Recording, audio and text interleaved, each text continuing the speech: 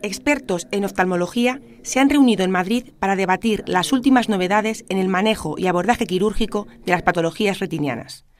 Más allá de la teoría, se llevaron a cabo tres intervenciones en el Hospital Clínico San Carlos, seguidas en tiempo real por un auditorio de expertos. La operación ha ido muy bien. Era un paciente, era un paciente fáquico que tenía un desprendimiento de retina y como el cristalino eh, la verdad es que no, estaba, estaba, no tenía muy buenas condiciones de visibilidad, lo hemos tenido que quitar.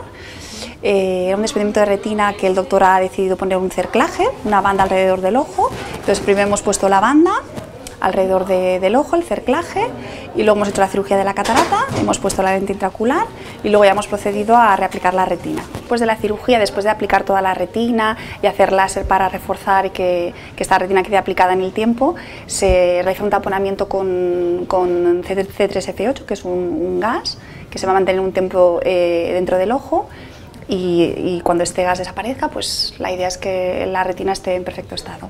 Como si una película se tratase, un equipo de profesionales sanitarios deja atrás el miedo escénico para ponerse en acción. Eh, aquí en Madrid hemos estado en varias ocasiones. Hemos estado también en Frankfurt, que también hacen unos eventos también de, retina.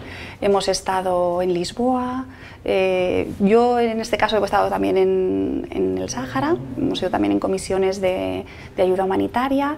Pero todo el equipo de, la clínica donde trabajo, del Instituto de Microcirugía Ocular, pues sí que normalmente cuando ellos, cuando los cirujanos son invitados a eventos de este tipo, siempre los porque ya bastante es tener que estar operando fuera de casa, en un entorno diferente, si al menos vas con tu equipo y con tu ayuda, pues la verdad es que es genial. A pesar de ser un ámbito poco conocido, la enfermería tiene un papel fundamental. Enfermería en, en estas cirugías, en este caso que era una cirugía de retina, nosotras somos responsables, por ejemplo, de sujetar la lente de AVI. La lente de AVI es la lente que se utiliza para dar la visualización de lo que está pasando dentro de ojo al cirujano.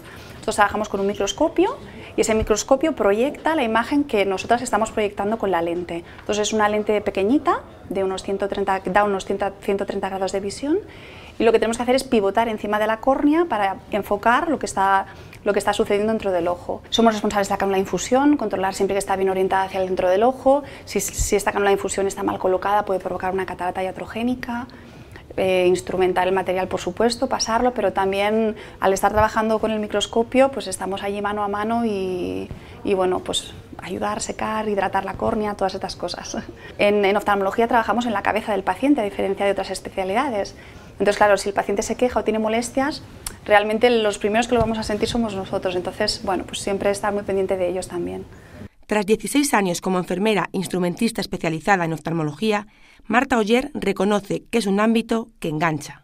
El ojo en sí es como si fuera un pequeño organismo pequeñito, y, pero tienes todas las especialidades porque tienes todo el sistema muscular, tienes el sistema óseo con toda la órbita, tienes sistemas de drenaje como el lagrimal, tienes el segmento anterior, la retina, ¿no? es como un pequeño mundo y, y esto de verlo por el microscopio y verlo tan grande y con esa nitidez, la verdad es que te engancha.